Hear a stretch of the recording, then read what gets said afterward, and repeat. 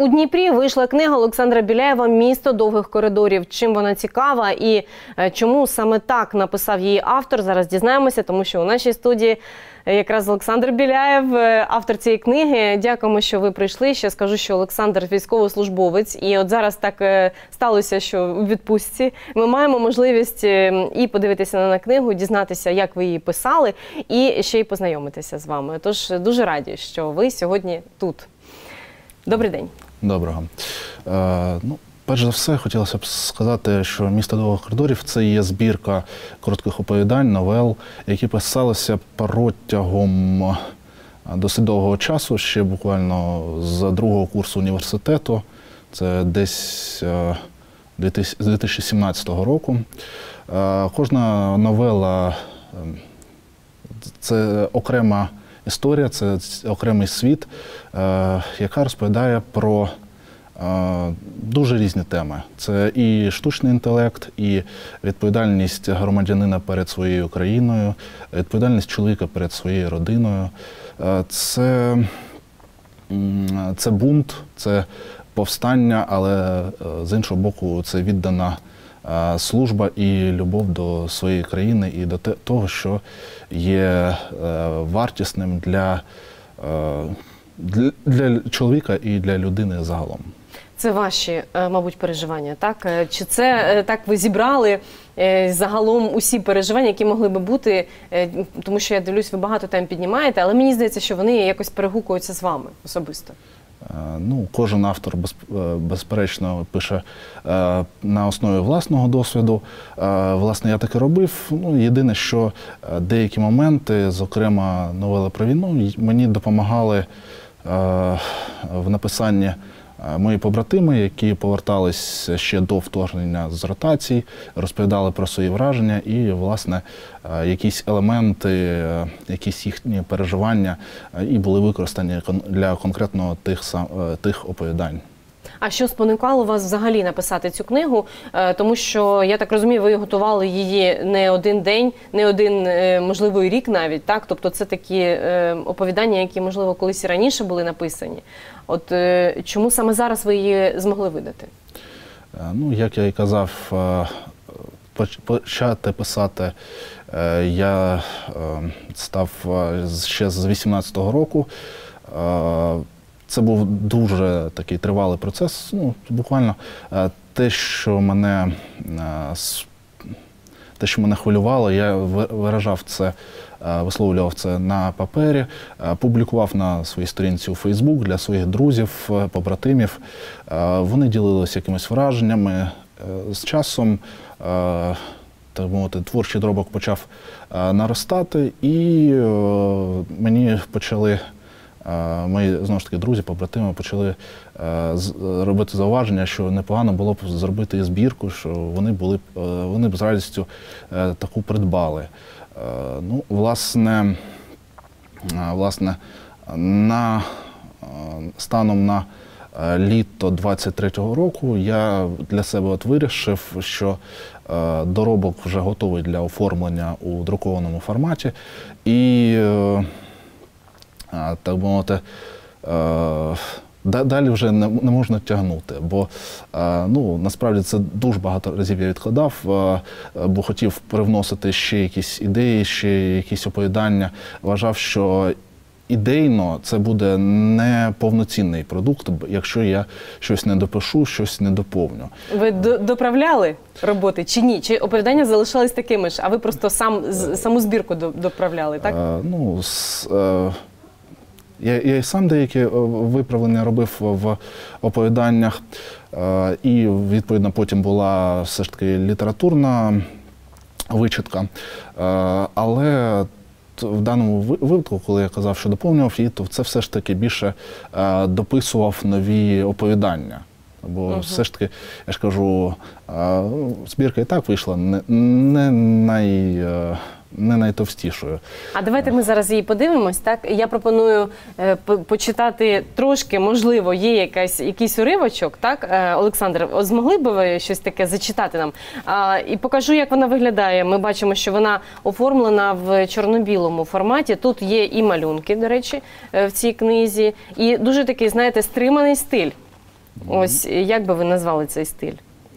Е, м, Якось називається, чи може ще поки що ви не знаєте, як він називається? Ну, власне, щодо назви, я б. Е, Але я, такі... я, я б сказав так, що це така е, вулична готика. Так, готика. А я по шрифту подивилася, що е, шрифт це готика, це точно. А ось е, ну і малюнки так само, тому що ми бачимо ось ту маленьку людину, яка ось тут е, до, до якого оповідання е, це малюнок? Це до оповідання, яке власне дало назву збірці місто довгих коридорів. Угу. О, як влучно ми це все побачили зразу і е, якраз звернули увагу на це. Ну і тут ми бачимо, що це вже ем, дуже якісь, е, мабуть, трагічна, трагічна робота. Оця. Ну, скажімо так, е, кожне оповідання е, не має хеппі-енду чи трагічного фіналу. Е, Воно закінчується відповідно так, як воно мало б закінчуватись. В тому плані, що кожен що торжествує справедливість, а це не завжди щас- щасливий кінець для персонажа. Тобто він отримує те, на що заслужив. Ось так. А чи зачитаєте, чи може розкажете? От як ви? Ну вже знову ж таки на ваш розсуд. Е, Ну, власне, я, ем, я не думаю, що варто зачитувати, не через те, що там є якась лайка чи е, непристойні сцени, звісно, що такого немає. А просто де, е, деякі моменти можуть е, шокувати е, ліберально налаштованого глядача і читача. Ну тоді добре, не будемо тоді. Ми а, як то кажуть, ми просто підігріємо інтерес. Ми не будемо зачитувати, але е, те, що ви вже розповіли, е, те, що ви зробили презентацію, і до вас багато людей прийшли подивитися, послухати, е, почитати, е, то це говорить про те, що книга е, заохочує людей е, до того, щоб вони е, взяли її до рук і прочитали, так щоб вони подивилися про що там, як там, і взагалі дізналися про те, як ви переносите отой ваш внутрішній світ е, на, е, такі, на таке паперове видання. І це е, багатьох людей спонукає до того, щоб подумати, щоб трошки розміркувати, а чи, чи варто взагалі поступати так, а не інакше. Тобто, у вас такі вони документальні, можна сказати, роботи. Ну, я б не сказав, що документальні, бо я ж кажу, що спектр тем е, досить широкий, і часом е, це і наукова фантастика, і містика, навіть дуже часто. Е, тому е, казати про якийсь документалізм не доводиться, але. е, Але людина все ж таки не, не є раціональною істотою. В нас є е, таємничі речі, про які ми може і здогадуємося, але не знаємо, як їх пояснити. І ну, власне вони, вони в кожному з нас, і тому це притягує, коли ти описуєш е, е, якісь е, свої спостереження, якісь переживання, які до певної міри знайомі твоєму читачу. Як я й казав, я писав, я публікував спершу у Фейсбуці е, для своїх друзів, побратимів, е, у яких ну, приблизно такий самий світогляд, як у мене. Тобто, ну, е, стрі- Для своїх, так можна сказати. так, для, для людей з консервативним світоглядом, для молодого покоління, яке ну, таким є революційно налаштованим. Власне, ну, чого ще чекати від студента другого, третього і- далі курсу. Е, І, власне, так, це відгукувалось. Е, І, ну, власне, я, я б сказав, що на презентації, яка відбулася буквально пару днів тому, ну, була най.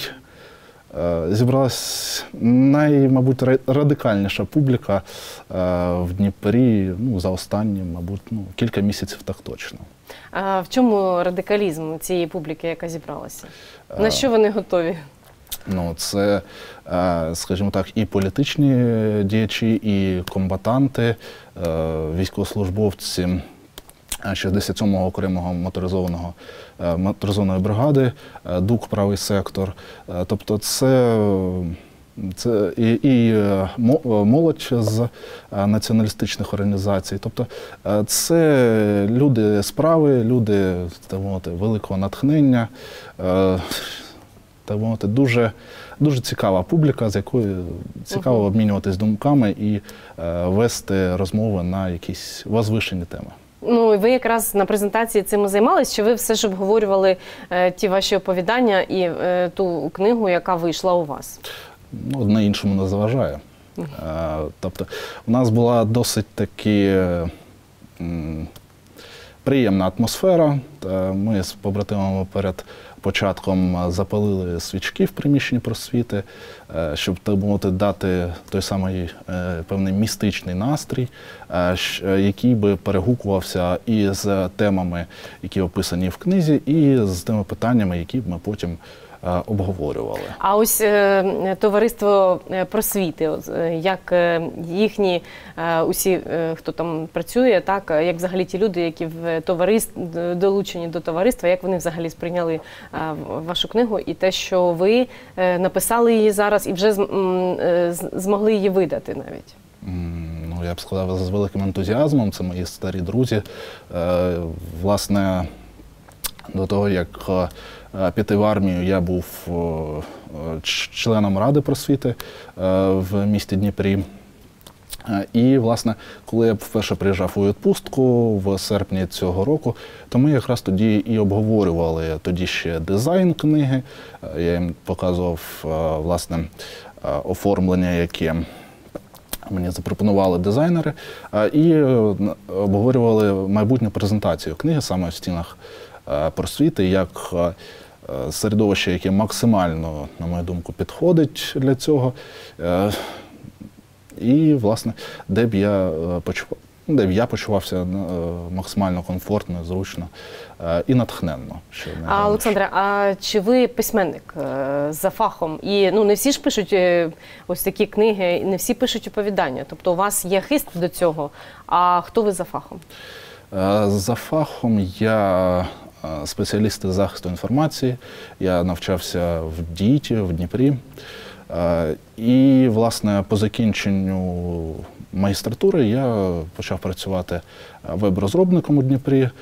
Потім мене власне призвали в армію, і з того часу я, ну, я є старшим телефоністом групи телефонного зв'язку в своїй частині. Ну ось так. А військовослужбовці у нас справді е, люди різні, і хто потрапляє, потрапляють е, ті люди, які дехто може бути творчим, дехто там багато митців, багато людей різних абсолютно спеціальностей. І ось так е, добре, що ви знайшли можливість видати цю книгу.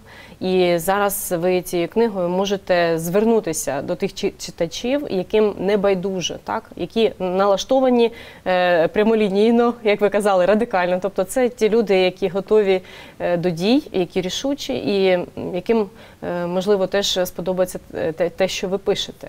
Ось воно, мабуть, якимось чином відгу- відгукується у тому, що ви написали. Тож хочеться, щоб ви звернулися все ж до тих людей, які могли би прочитати, яким справді ось те, що ви пишете, воно щось дасть. Будь ласка, пане Олександр. Е, Якщо вже е, звертатись, то, то мабуть, варто е, сказати щось таке натхненне, щоб. е, Я, я навіть не знаю, що. Скажу, так, це книга для мрійників, для радикалів, для людей, які відчувають, що в цьому світі не, не все є справжнє, але е, ті краплини істинного, що ще трапляються е, в нашому житті, е, що за них треба боротись, їх треба захищати. Що не варто піддаватись тим течіям, які часто відносять нас у геть хибному напрямку. Що іноді дійсно варто бути тією скелею, як написано в Біблії, і е, пручатись, стояти намертво на е, своїй позиції, е, на своїх ідеалах і, за свої цінності. Власне, е, власне, наша країна, я все ж таки е, переконаний, зараз демонструє всі ці е, якості, і е, тому за великим рахунком, мабуть, будь-кому було б е, було б цікаво принаймні полистати е, кілька оповідань, але я все ж таки, я все ж таки не демократична людина і розумію, що е, всім не догодиш і до цього е, не треба прагнути. Тому я дійсно раджу до прочитання тільки тим, е, хто готовий відстоювати свою позицію, хто не готовий вливатись до мейнстріму, бігти за модою і е, якось здавати свої позиції. Ось так, Олександр Біляєв, автор книги Місто довгих коридорів, був сьогодні в нашій студії. Справді для е, е, тих людей, які готові відстоювати свої позиції і свої права.